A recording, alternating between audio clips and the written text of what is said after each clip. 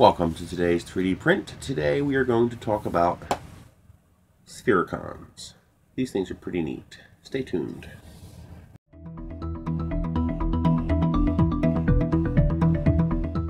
So if you want some more technical details on what a sphericon is, I'll have a link down below to Angus and Devinson's video on these sphericons. But basically, you take a shape, you revolve it, and then you take the half shape and you rotate it whatever the degrees are. So if it's a four-sided shape, 90 degrees. If it's a six-sided shape, whatever the equivalent, I think it's 60 degrees.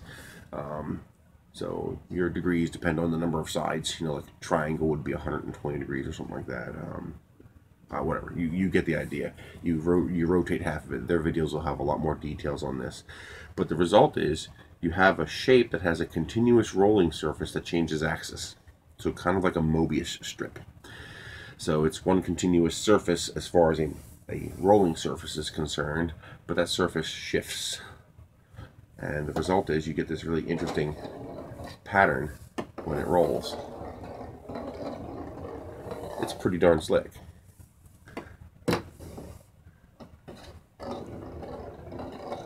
I just think that's fun. So this is printed on the Geeetech A10. It's a uh, budget printer, copy of the Ender 3. Not quite as good as the Ender 3, but not bad. I like it. I'm enjoying it. It's going to be a printer I keep in operation and use a lot. And this is the new Amazon Basics translucent green filament. I'm very pleased with that. It's a beautiful color and it printed very well this particular shape because it prints in two halves. These corners especially have a lot of strain. They want to pull up, so use a brim when you print with this. But I couldn't stop there. No, no, no, no. Next up, took eight times longer, but I went to 200%. So now I have a 200% scale version of this. Same exact model, again by Matt Devinson. I think it's Matt Devinson. Um, I'm not sure on the name. I'll confirm that down below, but it's Make Anything. I believe his name is Devinson. Devinson.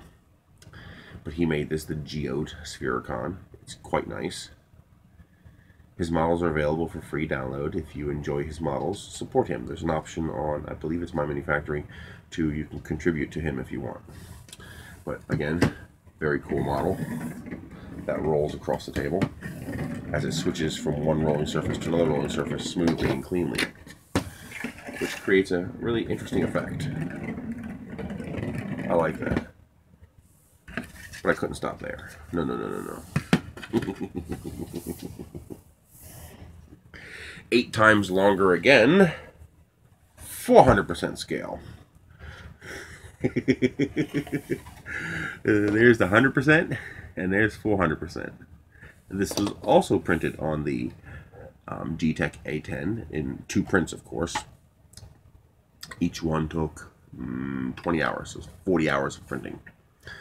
And um, I think this was um, two and a half hours, something like that. Or, or, no, this is like an this is like an hour. Yeah, I think it's took like an hour to print, hour and 10 minutes to print. And this took over 40 hours to print. It's uh, 20 hours for each half, 19 hours or 42 minutes for each half. There's a slight deviation from the rule of double size eight times because infill changes and perimeters change and stuff like that. But that's pretty cool. That is pretty darn cool. This one I used a brim, so the pieces are nice and flat, although I noticed the scaling is off a little bit, so check that. Make, rotate them 45 degrees, and make sure their X and Y dimensions are the same for both halves um, besides just scaling them up. But otherwise went together fine. I got rid of the box in the middle and I just glued them together. And um, it's also interesting as it spins like a top. that was kind of neat. But this will also do your little roll across the table. I just think that is just really neat to watch something like that go.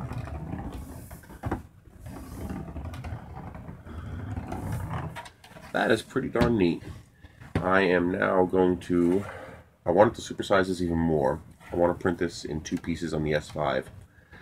That's, um, um, in theory, I can get this thing like 600 mil, almost 600 millimeters across, because if I print it square, the diagonal, this dimension here, will be the diagonal. So, um, square root of whatever the square of A and B are. So 500 times 500 plus 500 times 500 and square root of the result of that.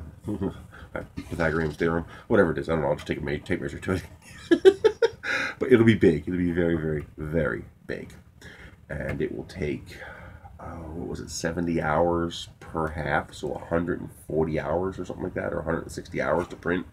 And it will take a full kilogram of filament per half and that's going really light on the infill. I'm just having trouble figuring out how to take care of this because even with a 1.2 millimeter nozzle width, I have problems where the one layer separates from the next layer when you get up to here because it's so flat and I have to be careful not to add too much infill or I'll go over one kilogram and then I'll have to do a roll swap in order to print. And it's already going to be expensive enough to do a two kilogram geode sphericon. So I haven't printed it yet because I can't get the filament. I want to print it, I want to do an amethyst geode. And that means I want my 3D Racks Purple Haze, and it's currently unavailable.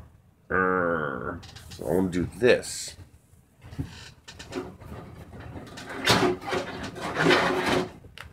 In this color, which I think would be stunning. So as soon as this is available again, I'm going to buy two rolls of this and I'm going to print this as large as I possibly can in two pieces, you know, without having to break it down even further. And I'm going to print it in this. And then of course I'm going to, same thing I want to do to this one here, I want to paint the outside of it. They have a stone finish paint you can get that would look really nice on this. This was printed with a 0.4 millimeter nozzle at 0.2 layer height, 215 degrees Celsius on the Geeetech A10. And this one will probably be printed at 225, 230 on the S5. And I will probably try to go with a 1.2 millimeter nozzle just to reduce how much infill I need because the vast majority of this won't need any infill at all. But I probably will have to reduce the layer height and increase the infill in order to close this top properly. We'll see. But um, if I can keep it under one kilogram per half, I'm going to do that. I'm going to have an absolutely massive one of these. It's going to be almost twice the size of this. Not quite twice, uh, maybe, maybe about twice the size. So it'll be like eight or nine hundred percent. So it would be twice the size. That would be pretty darn cool. That's it. I hope you guys enjoyed the video. Make sure you check out Make Anything's YouTube channel. He's an excellent channel to subscribe to, and he makes cool stuff like this available to people. Links will be down below. You guys have a great day.